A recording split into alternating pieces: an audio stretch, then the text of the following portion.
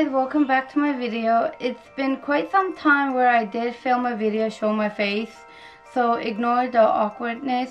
On my community section, I did ask you guys to send in any questions that you guys have, whether that be about birds, right Muffin?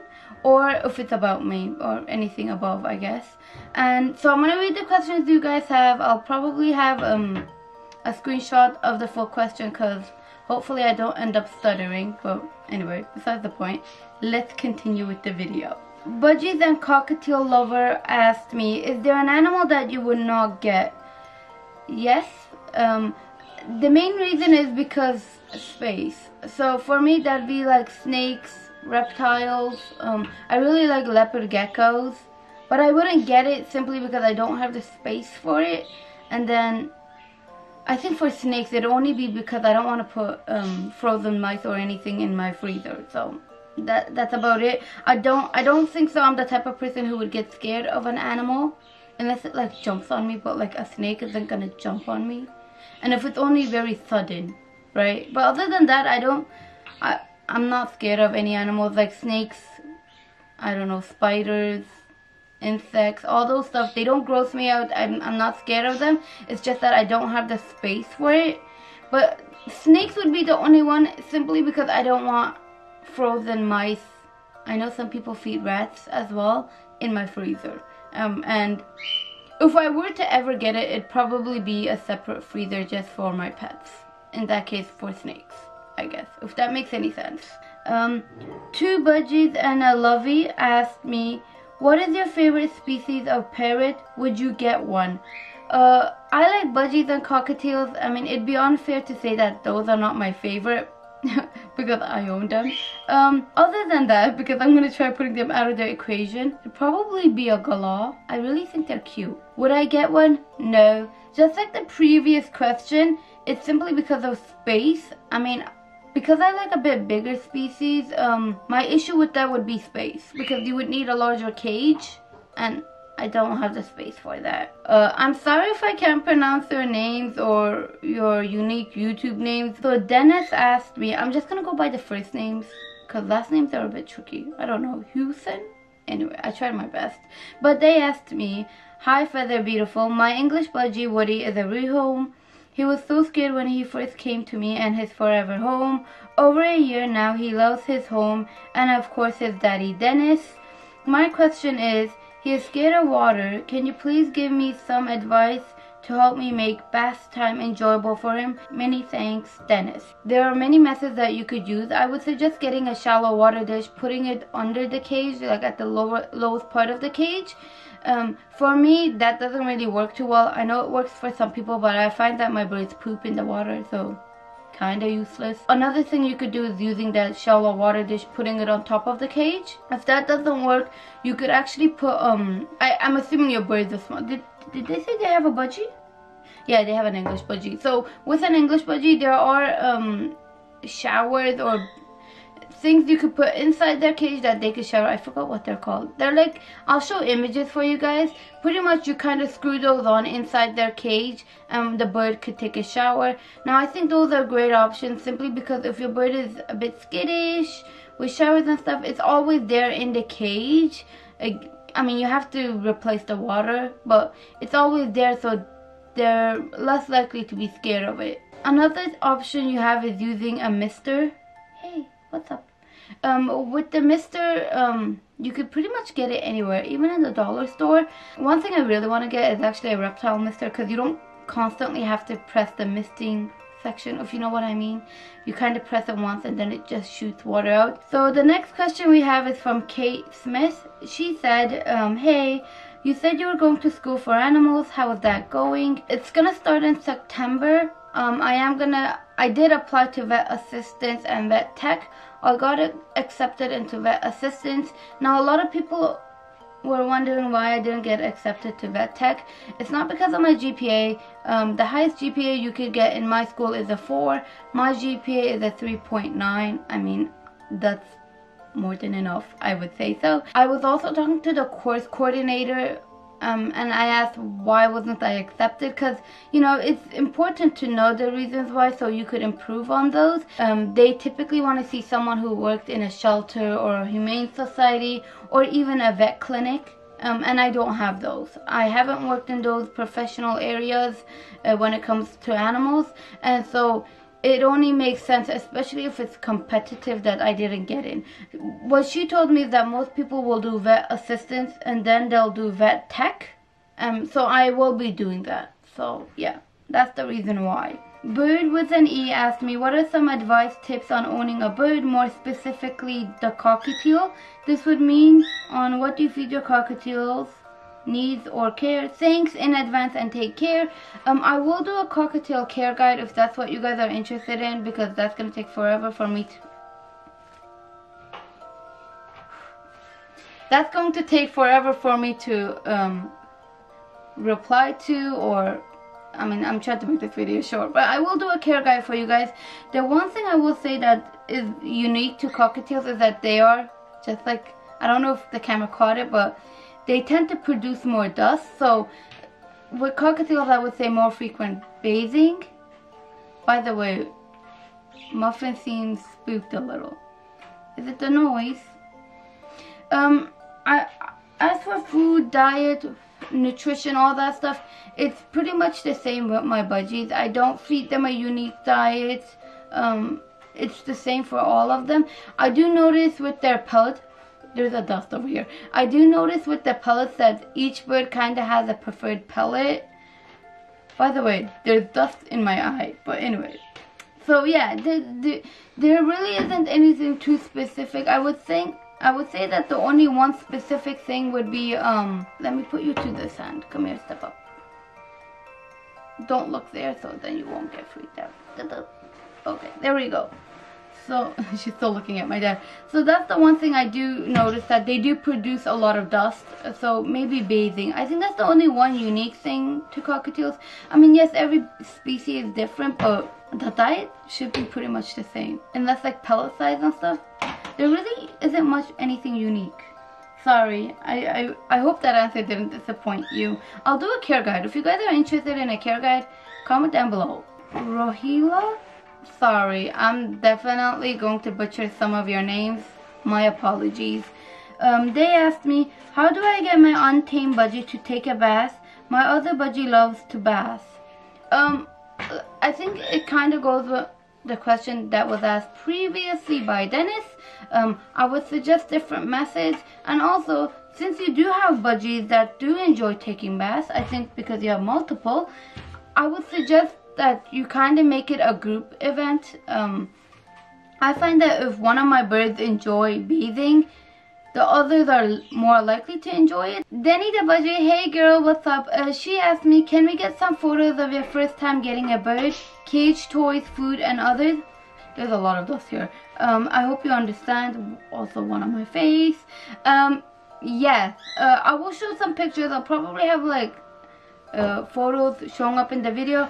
My first cage I got from Pet Valu and it was expensive, but I do use the cage and I still have it because now it's kind of a cage I use for putting my birds whenever they're kind of unwell, sick, or I'm suspicious of something. I'll put them in there. Initially, Kiwi and Limon were living in that cage, and then I got Snowy. When I got Snowy, I decided to get the Vision cage, and then yeah, I have the big cage. You guys seen my big cages.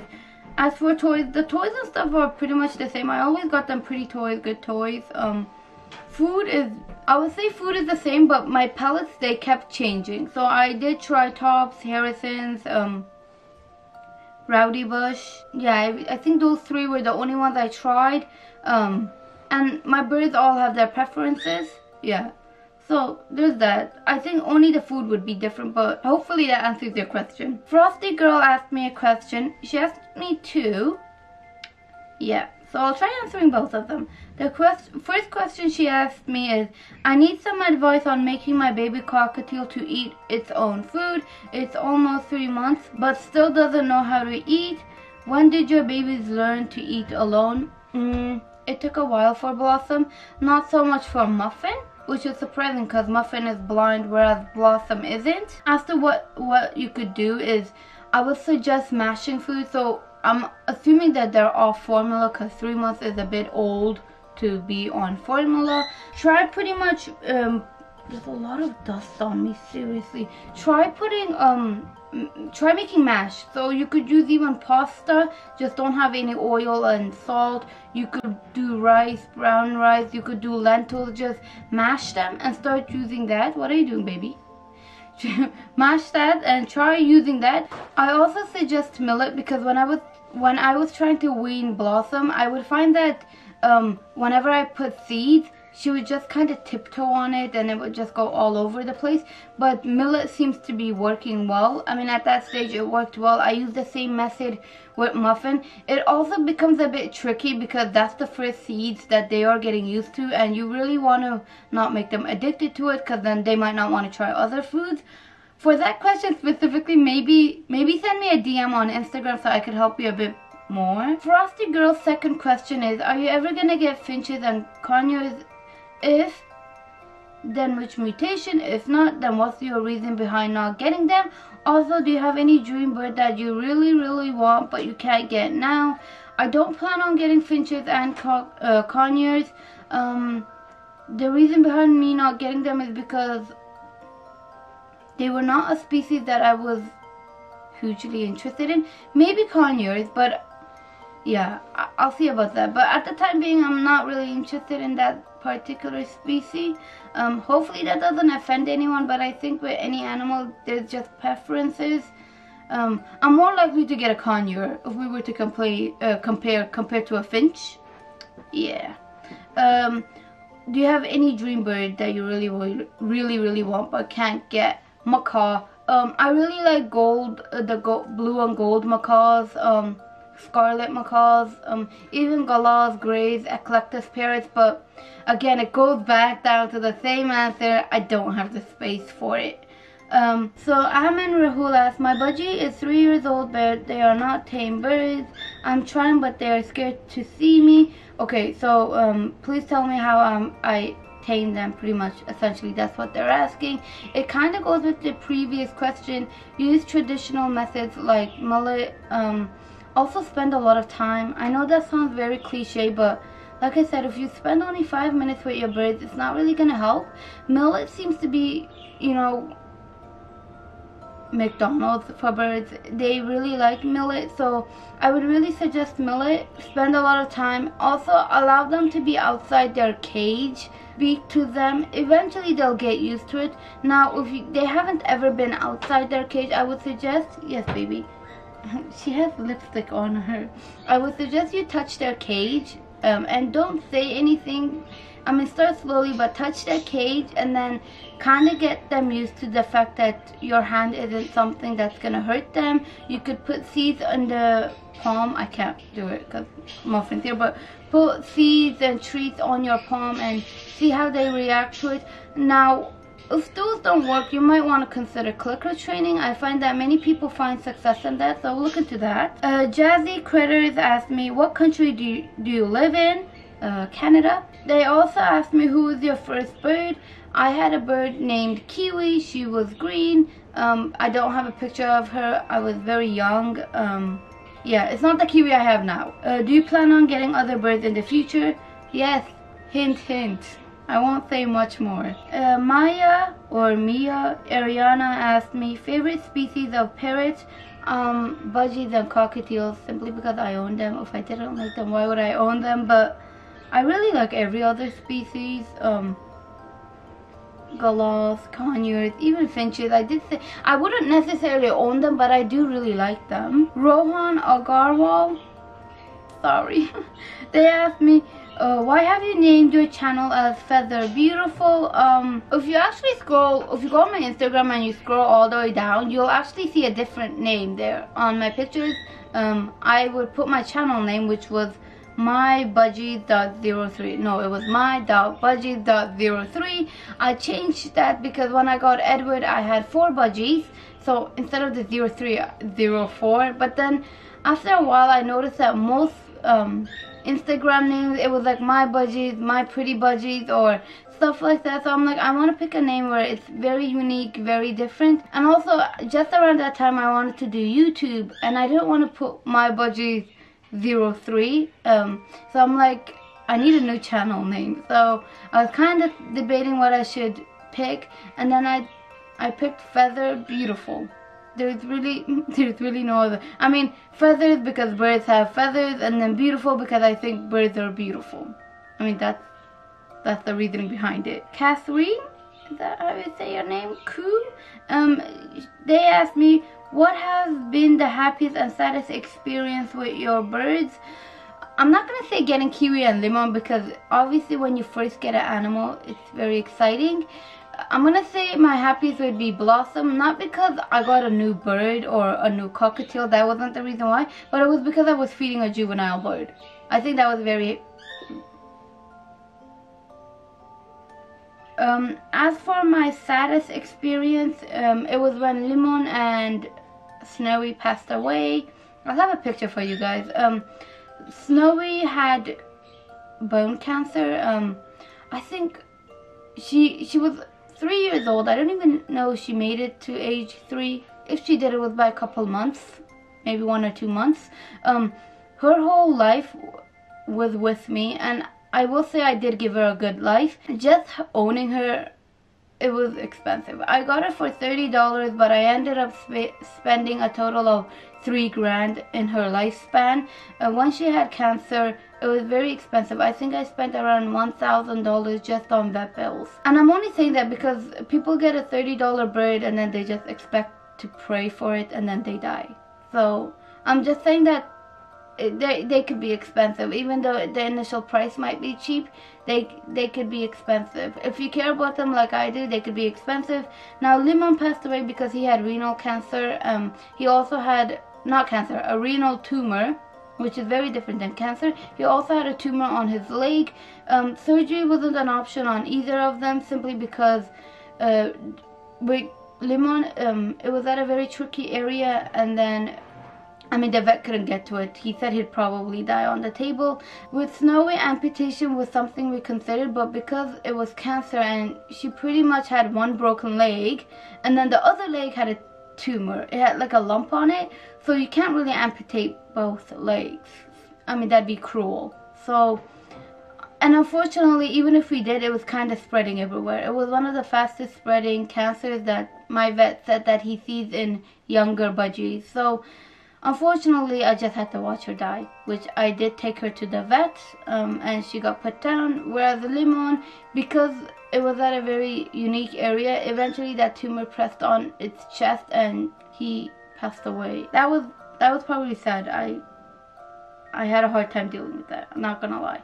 Um, Parrot Life asked me, how old are you? 25. And what is your favorite kind of bird? Cockatiels and budgies. Uh, Mia, oh, I think she asked two questions. Mia Ariana asked me, what do you use to edit your videos? I use Filmora. When I had my Mac, I used iMovie. I was planning to get Final Cut Pro, but I didn't. With, uh, what's it called? With my Lenovo, which is a Windows computer. But anyway, um, I use Filmora, which you could use for Macs as well. Um, for thumbnails and stuff, I use Canva, I used PicMonkey before. Right now, I use Photoscape. I'll have those, um, I'll have it down below on the description, just in case you want to look at it. Sarita Roh Rohila asked me, also, there's a lockdown here and I always have to buy their seeds pellets online. I cannot do that now and the seeds aren't gonna last long. Please help. What should I do? Should I set them free? I live in India. Don't set your birds free um, because they're not going to be able to survive. If you still haven't run out of seeds, you could transition them to um, veggies um, and I'm, I'm assuming you're gonna also be running out of pellets. So transition them to veggies. You could use um, eggs and stuff um, as soft foods then those could help. Now if you're completely out of seeds and now you don't know what to do, I would suggest again offer veggies and stuff but try making it a bit more high in fat um, the reason is because normally there's a transition period and assuming you're just gonna jump from seeds now to veggies they might actually lose weight and that's probably because they don't know that type of food and they're not eating enough. So i would suggest a bit uh, i would suggest foods that are a bit higher in fat. I did get a question from a dm they're like can you not name me? Sure i won't name you. They said that is there a youtuber you like dislike or a company you like and dislike? Um youtuber that i like there's many I'll link their channels below. Live Laugh Birds, hello girl. And then there's Denny the Budgie, hello girl. And then there's BirdTricks, hey guys. I mean, I don't know, there's so many channels out there, hi. I don't know what else to say. Um, there are many animal channels. I do watch other channels like Stephanie Soo, Just Kidding News. Um, as for channels I don't like, no, there's not, or any channel that I have beef with, no, I don't. I mean, hopefully not. I don't have anyone I don't like. It's just that there's some channels I don't watch often simply because maybe we don't click in a way or another. And that's the same with you guys. If you guys don't like this video, I'm sure you guys are watching something else. So, yeah. As for companies, there are companies I don't like. I, I really don't like saying that, but yeah, I don't like many companies. Um, and I'll tell you why, because I think I don't think that there's going to be a company watching this video, especially until the end so whatever. There are companies that would suggest me products but I refuse those products simply because one I find it sketchy. Two I'm not sure if those products are safe. Or you know three because you guys are not going to benefit from it. I feel like if I'm sponsoring a channel regardless what it may be that I need to have some kind of code or something to give to you guys. So if that's not the case I often rejects the offer. Another thing is there's companies that work with me and they're just sketchy or I just don't like their ethics. I recently had a company reach out to me. They reached out to me. It's not like I reached out to them. They said they wanted to work with me and I'm like, sure, great. I'm glad you liked my content. They emailed me back explaining the conditions they had. I agreed with those conditions because it actually was somehow going to benefit you guys. You guys were going to get a code and they asked me for photos of my birds and my address. I did give them the photos and I did give them the address. And then um, what had happened is that they emailed me, I think two, three weeks later saying that they didn't want to work with me because the marketing team didn't agree with it somehow. I mean, I kind of find that weird because wouldn't you kind of talk with your marketing team initially and then you come to me? Because that's so weird. That really is weird. And not to mention you did get my address and my photos. Now i initially thought was this a scam? But it isn't because i see a lot of bird bird accounts now who are actually advertising their products so i i know i didn't meet the cut whatever that was i know i didn't meet their expectations that's completely fine but is it okay for companies out there if you are somehow watching this can you guys figure that beforehand and then reach out to me because I kind of don't want to deal with that. I mean, I'm not trying to give my address to everyone. And I trusted them enough where I did give them my address. I don't care about the photos. You see my birth photos everywhere. It's not that big of a deal. But I gave you my address. That's, that's private information. I guess the future companies, maybe, maybe get yourself figured out and then reach out to me. And I don't care what other people say, but that's just bad business. If they ever reach out to me later on down the line I'm not gonna accept the offer um, because that's just that just leaves a bad taste in your mouth um, and now I know other bird accounts are actually sponsoring their videos um, not their videos like their products um, it's kind of like an animal with a costume on it hint hint I might actually give you a major hint and I'm not gonna say their name because I know they're trying to do their thing and everyone's trying to hustle but it really does leave a bad taste in your mouth. So maybe do do better. Now I want to leave this video on a good note. I don't know if I will show my face often. Maybe here and there, maybe often. I don't know. I don't even know how this video is to turn up. Um, but yeah, if you guys want to send me pictures of my birds, um, yeah, email them. I have my email down at the description down below. You could email them and then I'll feature your picture and um, a little bit of your description on that picture. Yes. So yeah, this is the end of the video. This actually took quite a while and I don't even know how it turned out because I didn't edit the video hopefully the lighting and stuff are all good because I'm going to be pretty upset if it isn't. But yeah, ignore me if I was a bit awkward. I'm just naturally a bit of an awkward person. But hopefully you guys liked the video. Thank you guys for watching. Bye-bye. Bye-bye. Bye-bye.